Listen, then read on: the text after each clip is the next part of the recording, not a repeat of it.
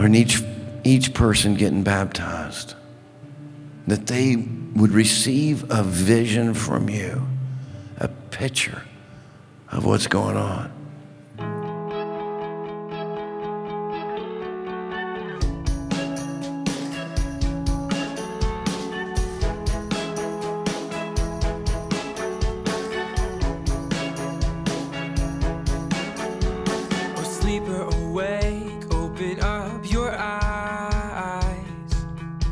For the King is coming, abounds in grace and love, not fear.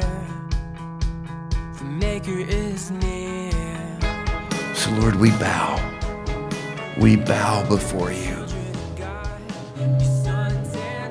We thank you, God, for making us sons daughters and heirs of the kingdom.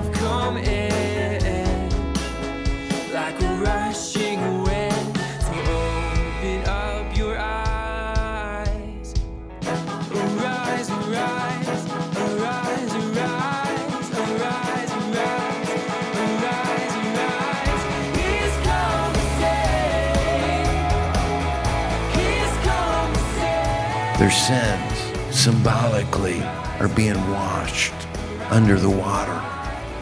They're going into the watery grave to die to the old way of life.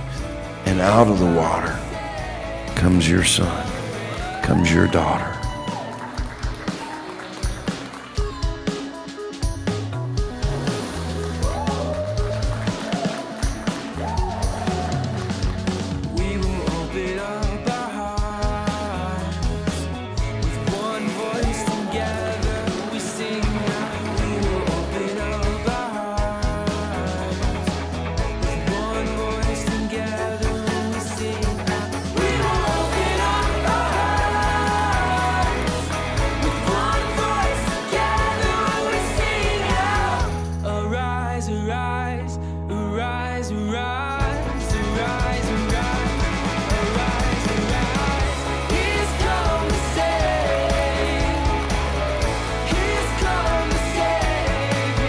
Resurrection power, dying to the old way, living to the new way, responding to your spirit, directing us and leading us to love, joy, peace, gentleness, wholeness, kindness.